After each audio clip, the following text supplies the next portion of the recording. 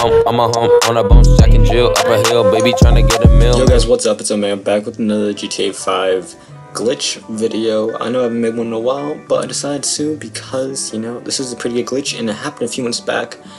And sadly, got patched, but somehow Rockstar, they messed up. And it's back. So I'm going to be showing you guys how to do it today, so make sure you drop a like, drop a comment in the comments saying if it works for you or not. And also turn those notifications to get notified when I do streams or make new videos. So first off, first thing you need to do is have an arena war workshop with the you know uh, engineer thing for uh, Benny's cars whatever I need an RC Bandito so after you get the RC Bandito all you need to do is go to your internet and then disconnect from the internet connection leave that and then as soon as you go back into the game it'll say you logged out of it and boom. You're going to be sent back to the home screen. Now what you want to do here you're going to want to have a free mode activated. You're not going to be in like auto assist or auto aim whatever it is. You're going to have to want free mode activated. And we spawn back into story mode and after you get spawned back into story mode either go into uh, go into an online game do not go into an invite only session because that will mess up the glitch.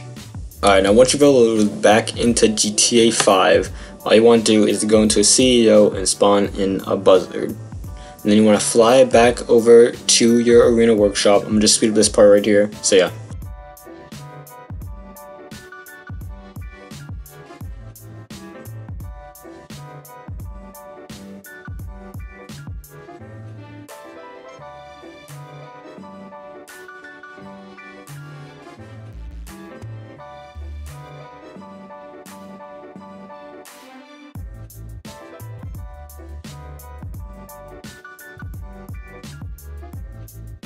Uh, now once you've made it back into your arena workshop, all you want to do is go over to the Elegy that you are going to sell.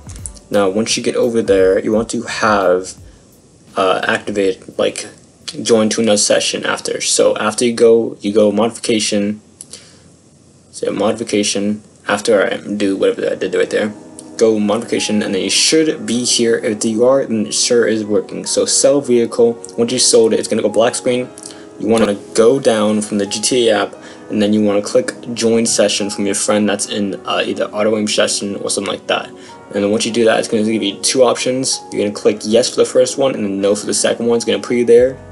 And then you want to click modification again and it should bring you over here. If it doesn't like stop in the doorway that's fine.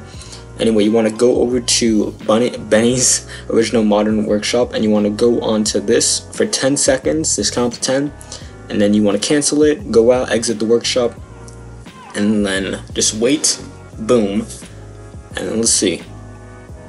Boom, now you have 900,000 and 40k, not 40k, 900,000 and $40,000.